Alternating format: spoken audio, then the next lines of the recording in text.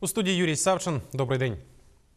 П'ятеро піротехніків загону спецпризначення департаменту з надзвичайних ситуацій в області виїхали на Чернігівщину, де сьогодні на складах Міністерства оборони виникла пожежа і лунали вибухи. Про це повідомила представниця обласної служби порятунку Олеся Осіпчук. До місця надзвичайної ситуації від головного управління ДСНС області направлено 5 чоловік особового складу групи піротехнічного розрахунку з засобами розмінування та дві одиниці спецтехніки ДСНС області. Рівненські піротехніки проводитимуть очищення території арсеналу від боєприпасів. Нагадаю, сьогодні близько 3 години 30 хвилин до ДСНС надійшла інформація про пожежу та вибухи на території 6-го арсеналу Міністерства оборони поблизу селища Дружба Ічнянського району Чернігівської області. Із зони можливого ураження евакуювали майже 12 тисяч осіб. Як повідомив заступник начальника генштабу збройних сил Родіон Тимошенко, в СБУ не виключають, що вибух боєприпасів на 6-му арсеналі стався в результаті диверсії. За його словами, відомо, що спочатку відбулося одночасно два вибухи, а згодом ще два, також одночасно.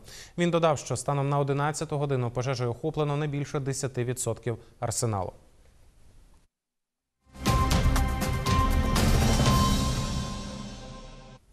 «21 аптека на Рівненщині має ліцензію на відпуск наркотичних препаратів для людей, які потребують паліативної допомоги. Таку інформацію озвучила координатор з питань паліативної допомоги обласного управління охорони здоров'я Вікторія Покоївчук під час прес-конференції, яку присвятили до Всесвітнього дня хоспісної допомоги.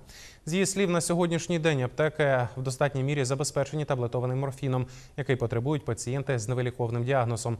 Водночас, як розповіла представниця благодійної організації мережа 100% життя Ганна Котенко, держава не виділяє достатньо коштів на забезпечення таких пацієнтів знеболювальними.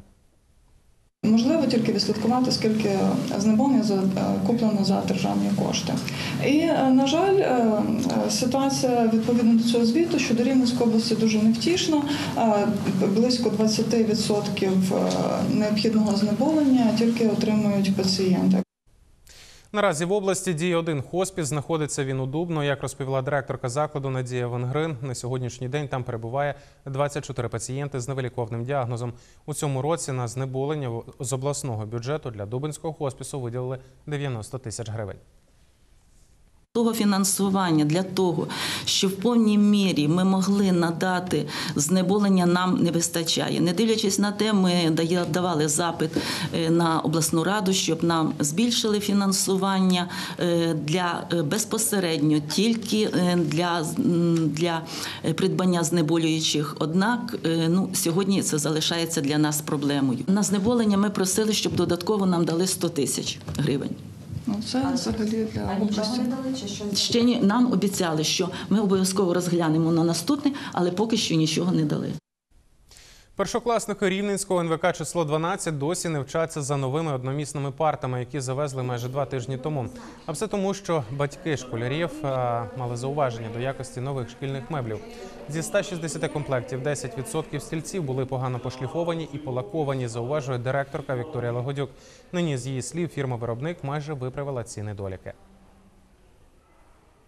Були е, присутніми батьки, коли ми отримали е, парти і стільці, і були такі незначні нарікання, нарікання на те, що е, не зовсім якісно були відшліфовані е, сидіння стільців. І також е, тут були зміни, стирчали болтики. Відразу фірма, яка нам поставила ці меблі, вона відреагувала. Вже е, один раз присутніми були працівники цієї фірми. Як бачите, е, болти вже приведені у відповідність, все гаразд. Так само е, вже відшкурені були сидіння і спинки стільців. Ну і залишилось ще один раз покрити спеціальним екологічно таким чистим лаковим.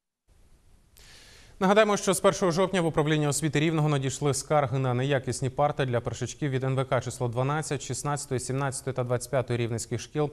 Про це тоді повідомив начальник управління Василь Харковець. Виготовленням парт для учнів перших класів згідно з тендерними закупівлями займається рівненське підприємство УТОГ. З огляду на звернення поставку нових меблів призупинили, а недоліки на тих, які вже завезли, мала виправити фірма-виробник упродовж п'яти днів.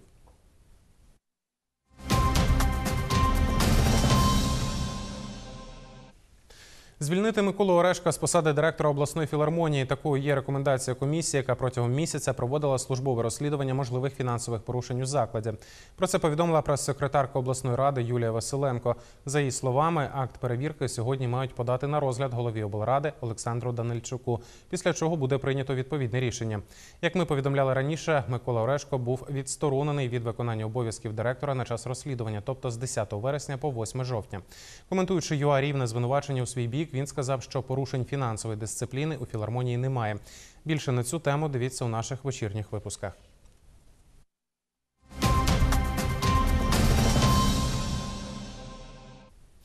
Сьоме місце з кінця серед областей України посідає Рівненщина за темпами ремонту місцевих доріг.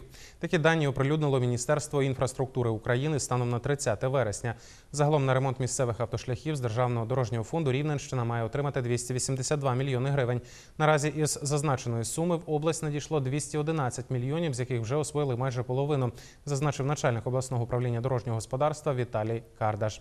З його слів, ці кошти уже заплатили підрядникам, які ремонтують дороги на Рівненщині. Це е, 96 мільйонів гривень, які станом на 1 жовтня ми заплатили нашим підрядникам. І на сьогоднішній день у нас іде активна е, фаза е, по будівництву, по ремонту цих доріг. е, І ми рухаємося по плану, який ми попередньо намітили собі. Якщо говорити по кількості доріг, то 23 дороги фактично вже знаходяться на завершальному етапі. Тобто наш технічний е, нагляд е, перевіряє всі нормативні документи для прийняття цих робіт в експлуатацію. 30 доріг у нас йде на завершальній стадії, 25 м, доріг у нас е, знаходиться в активній роботі. Також Віталій Кардаш зазначив, що ці тендерні процедури на ремонти доріг, які відбуваються у цьому році в області, мають закінчитися до кінця тижня.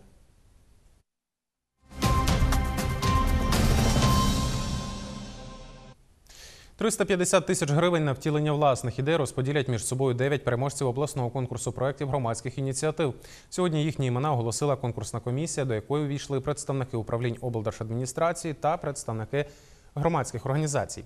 На ваших екранах кадри з другого етапу конкурсу презентації ідеї. Гроші з обласного бюджету на умовах співфінансування отримують громадські організації мережа 100% життя рівне, рада голів ОСББ Рівного, платформа взаємодії простір на одразу два проекти, спілка велосипедистів Рівного, громадянська мережа Опора, колесо життя, фонд молодіжних ініціатив Крила та психологічна служба Євромайдану.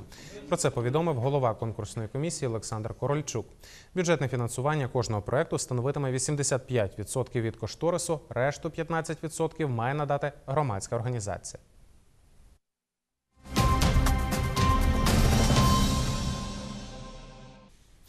Поліцейські розшукують невідомих, які залишають на стінах будинків та парканах написи фарбою. Правоохоронці припускають, що це назви каналів у мережі Телеграм, де пропонують нелегальні речовини. Про це розповів заступник начальника управління протидії наркозлочинності в області Ігор Згабюк.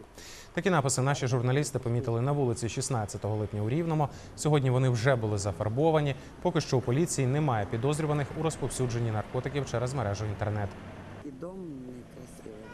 Цей вид збуту наркотичних засобів психотропних речовин для нас є новим.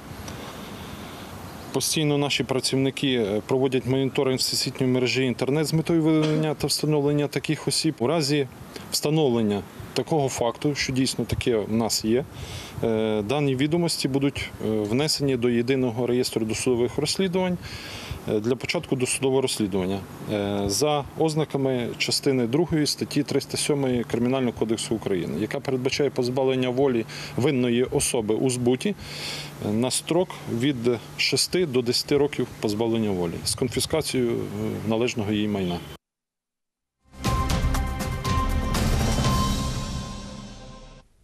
З двох перемог розпочала виступи на юнацьких Олімпійських іграх у Буенос-Айресі збірна України з баскетболу 3 на 3 Команда, за яку виступає рівнянин Віталій Шорсткий, перемогла спочатку збірну Андори 22-5, а потім збірну Бразилії 20-15. У першій зустрічі наш земляк набрав 6 очок, а у другій 2. Наступні матчі українські баскетболісти проведуть у п'ятницю проти команд Венесуели та Нової Зеландії. Нагадаємо, крім Віталія Шорсткого, на іграх Буенос-Айресі також виступають представники Рівненщини, стрілець Дмитро Гонта та легкоатлетка Світлана Жульжик. Дмитро розпочне змагання у середу, а Світлана у суботу. На цьому все. Більше новин у наших вечірніх випусках. В студії для вас працював Юрій Савчин. Побачимось.